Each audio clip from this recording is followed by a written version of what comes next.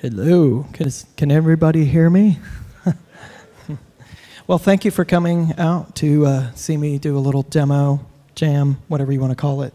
Um, I'm Richard Devine, for those of you who don't know who I am. Um, I'm here jamming um, with a couple of pieces of, of, equipment that you see up here. I don't know. It's a 12U Eurorack system of just a bunch of different modules, Polyend sequencer that you see here, and a, another skiff uh, 104 HP skiff um, using circadian rhythms and various other effects modules.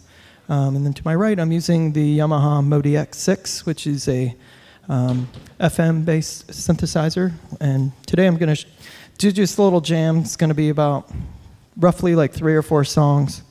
Um, and the way I'm using this is I'm um, using the Polyend sequencer to MIDI out into the uh, MODX. So I'm prepared some presets that I've made ahead of time that work in conjunction with this system uh, that you see here. So um, I'll be doing a bit of like bass lines, um, pads, and some different chords and stuff that I've created here, all being sequenced um, from this the uh, Polyend sequencer. So um, with that, I'll just get started and uh, please enjoy. It's going to be a little bit of an ambient sort of chill thing. My ears are completely blown from hearing stuff all day, so I decided I was going to just do something a little more chilled out.